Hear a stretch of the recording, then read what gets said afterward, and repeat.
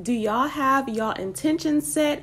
Are y'all visualizing? Are y'all ready? Do y'all even know what this day is? Do y'all even know what day it is? Y'all see, I'm wearing my crystal bracelet. I'm just, I'm ready. I'm prepared. If you don't know about July 7th, 2023, or 777, then you really need to watch this video. I am going to tell y'all how to use this very important astrological date to manifest, to finally bring your manifestations to life, to finally shift into that reality that you've been dreaming of. And make sure you watch the video to the end to get all of the tips. Okay, so just to explain a little bit more, July 7th, 2023 equals 777. Whenever numbers go into sequence, such as 222, 333, or 777, they have an important meaning and an important power. So basically, this day is like a special portal where the energy will be heightened and it will be a little bit easier for you to harness this power and use this energy in order to get what you want. So, before we get into the actual tips on how to use this date to manifest, my name is Brianna B, and I make a lot of spiritual content and also other types of content on this channel. So, make sure you subscribe and like this video. Also, if you're just now getting into the world of spirituality or you just want to have it explained in the simplest simplest way, then I have an ebook for you. That is always available down in my description box. Okay, so the number one thing that you want to do is you want to set your intentions. And really, you want to do this every day with everything, especially the major decisions in your life. But really take this day to get in the habit of setting your intentions. So let the universe know what it is that you want. What are you trying to manifest? Just just say it in your head. This is going to let the universe know what to put out into your life. And it will allow you to have a clear state of mind and not be all over the place. You don't want any type of confusing energy in the atmosphere right now because that's just gonna bring things that you don't necessarily want to come into your life. So, for number two, some people don't really have this issue, but I would say that this is still necessary because it will just make it easier for things to come through for you. That is to keep your vibrations high. I know some people don't care about vibrations, they don't worry about vibrations, but why wouldn't you want to feel good? It's better to just do things when you feel better and you get better results. There are many ways to keep your vibrations high, and that includes wearing crystals. Um, crystals carry a very high vibration. I know that when I hold my crystals in my hands like this, after like a few seconds, I can feel pulsating. I can feel it pulsating. So that that is a high vibrational item that will affect you as well. Listening to your favorite songs, and I'll do a whole video on this just to go into depth. But you know, listening to your favorite songs, um, just being happy and being positive, laughing. Laughing is very important to keep your vibrations high. Just being in a joking mood, just being in a happy and light mood and a light energy. This is the one day of all days, of all days, this is the one day that you want to ignore your problems, ignore any issues that you have, ignore any obstacles, ignore anything that's holding you back because it's all going to disappear once your manifestations come true. Once you decide to make your dreams a reality, because you do decide, it's your choice.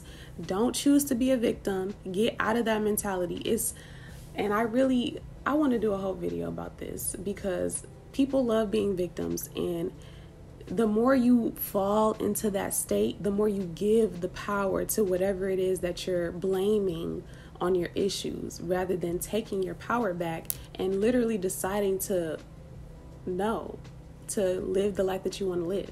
So once you make that choice, all the issues will disappear because they're not real and they don't matter. Number three, this is the funnest part of this whole thing, um, the funnest part of this process, and this will help you to keep your vibrations high as well.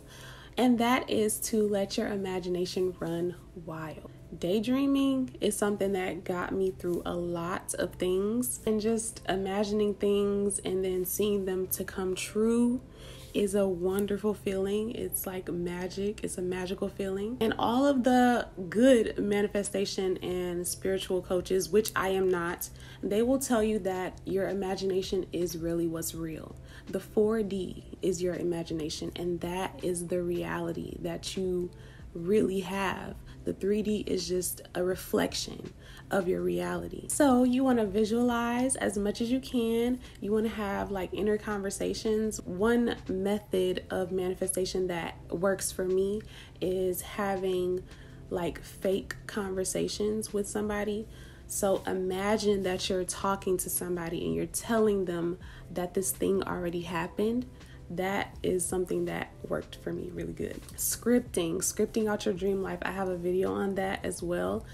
Scripting is one of my favorite methods too because I like to write um, and it just, you can just literally visualize and just write a story and just imagine that everything is going perfectly and just, I don't know, it's just scripting. Scripting is great. Go on Pinterest, look through all of your goals boards, look through all of your aesthetic pins, go through your whole everything on Pinterest and just imagine yourself in those pictures. And you just want to repeat this all day. Like, literally, don't let, okay, negative thoughts can come, but just ignore them, move past them, let them pass don't go into the rabbit hole, go into the positive rabbit hole. Don't go into the negative rabbit hole. Don't spiral in the negative, spiral in the positive. And the last tip is to just be consistent with all of these things. Just repeat, as I said, do this all day, stay in the high vibrations, continue to visualize, continue to script as long as you want or as much as you want have all of the inner conversations and these are just a few manifestation methods which i have an ebook coming out about manifestation methods so stay tuned. But these are only a few of the methods that you can use. You can use whatever method is best for you but just be persistent in that. And just believe. Your faith and your belief is what holds the power. If you notice that anything that people truly believe in, it is real for them. It becomes true for them. When people are deceived or when people fall into cults and things like that, they really believed something and it really became real for them. Like I said, at least for this one day, and this energy will linger for a couple of days.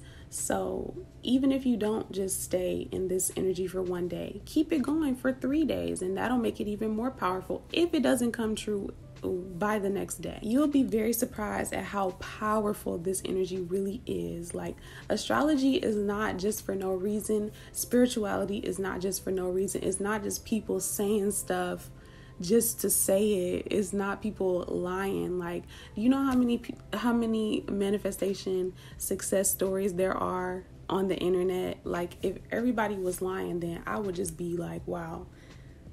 There's there's no way that everybody is lying about their success story if one person or a couple of people can do it then you can do it. There's no reason why you can't and also, we just had a full moon. So we're in full moon energy too. So use all of this powerful energy, like use it to your advantage. It's, you won't regret it. Okay, so thank y'all so much for watching this video.